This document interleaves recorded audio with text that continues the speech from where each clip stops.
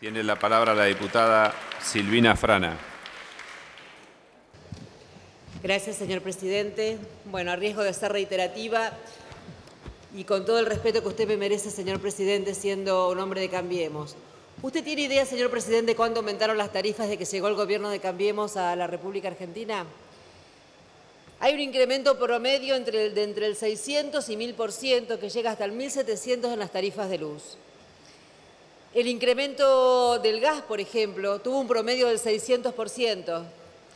Y le puedo también este, indicar otros incrementos, por ejemplo, eh, el agua corriente aumentó un 664% promedio, los peajes un 623%, el transporte un 105%, la medicina prepaga un 88%. ¿Y usted sabe, señor presidente, cuánto aumentaron los salarios de aquellos que todavía en la República Argentina tienen un trabajo en relación de dependencia? Un promedio apenas del 70% en estos, dos, en estos dos años. Yo le pregunto, señor presidente, el mejor equipo de los últimos 50 años que rodean al presidente de la Nación, ¿cómo pensaban que las familias, las empresas, los comercios iban a pagar estos aumentos? ¿Cómo piensa los funcionarios de este gobierno nacional que un jubilado cuya mínima ronda los 10.000, los 8.000, va a poder pagar una factura de luz que el año pasado eran 1.000 y ahora son 4.000 pesos. Para hablar de ejemplos concretos, señor presidente, y para no extenderme, usted sabe que esta decisión del gobierno nacional genera una profunda crisis en el tejido social y en nuestro sistema económico. Una crisis social porque, vuelvo a decirle, señor presidente, las familias no pueden pagar las boletas de la luz, no pueden pagar las boletas del gas, no pueden pagar las boletas del agua cuando todavía a sus salarios no llegaron el incremento de sueldo que pusieron como tope de un 15%. ¿En qué están pensando cuando piensan en los aumentos? Si la familia argentina no lo puede pagar. Pero esto no es nada, señor presidente, porque esto también genera un quiebre económico genera un quiebre económico en las empresas que también tienen que pagar estos aumentos de tarifa. Usted sabe, señor presidente, que cuando hay procedimientos de crisis en una empresa, hoy hay una causa nueva que es la causa del aumento de tarifas. Usted sabe, señor presidente, que cuando hablamos del quiebre del esquema económico, hablamos de que si la gente paga las tarifas, va a consumir menos, ¿Usted sabe, señor presidente, cuánto se detrajo el consumo desde que asumió este gobierno en la República Argentina?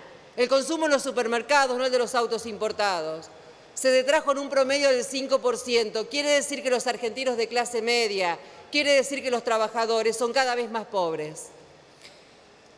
En este esquema, señor presidente, tengo que recordarle algo que no lo digo yo, lo dijo el cronista comercial el año pasado, expresando que la producción de petróleo y gas tenía un retroceso de 30 años. Entonces, si los aumentos tarifarios no fueron a aumentar la producción de gas, no fueron a aumentar la producción de petróleo, ¿a dónde fueron, señor presidente?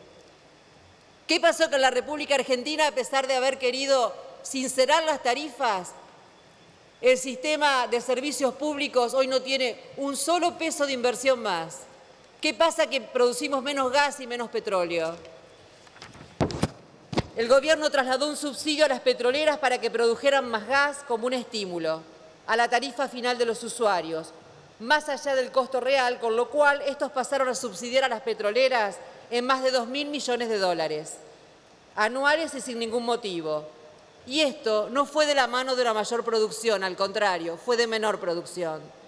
El tarifazo de gas no se corresponde con una mayor producción nacional.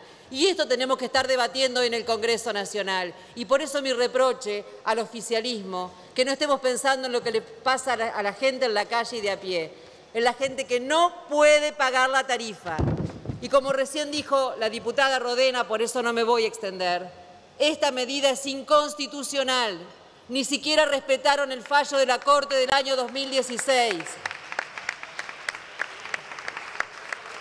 El fallo de la Corte, señor presidente, les recuerda al Gobierno Nacional que los servicios públicos son derechos humanos, no son una medida de una empresa privada. Y yo le voy a recordar, por si el Gobierno no lo sabe, que en todo el mundo se subsidian los servicios públicos. Y le tengo que decir, señor presidente, que por ejemplo, te voy a dar países, en Canadá los subsidios per cápita en dólares de servicios públicos son 1.283 dólares con 35 centavos. En Luxemburgo son 3.747 dólares con 17 centavos. En Japón, per cápita, los subsidios en dólares de los servicios públicos son 1.239 dólares con 40 centavos. En Alemania son 683 dólares con 55 centavos. En Chile son 515 dólares con 0,8 centavos. Todos los países del mundo reconocen que los servicios públicos son derechos humanos y por eso se subsidian para que lleguen a todos los sectores de la República.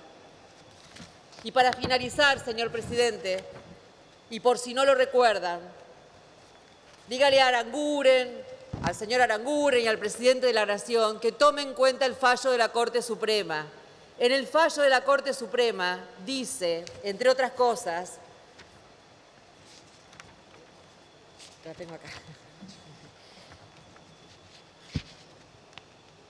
que como subrayó el tribunal, que es bien sabido que la Constitución tiene la condición de norma jurídica y que reconoce derechos, lo hace para que estos resulten efectivos y no ilusorios sobre todo cuando, como en el caso, se encuentra en debate un derecho humano. Todo ello explica que al reglamentar un derecho constitucional, el llamado a hacerlo no pueda obrar con otra finalidad que no sea la de dar a aquel toda la plenitud que le reconozca la Constitución Nacional. Los derechos constitucionales son susceptibles de reglamentación, pero esta última está destinada a no alterarlos. Acá se alteró un derecho constitucional que respalda un derecho humano lo cual significa conferirles la extensión y comprensión prevista en el texto que los enunció y que manda asegurarlos. Es asunto de legislar, sí, pero para garantizar el pleno goce y ejercicio de los derechos reconocidos por esta Constitución y por los tratados internacionales vigentes sobre derechos humanos. Gracias, señor presidente. Gracias, señora diputada.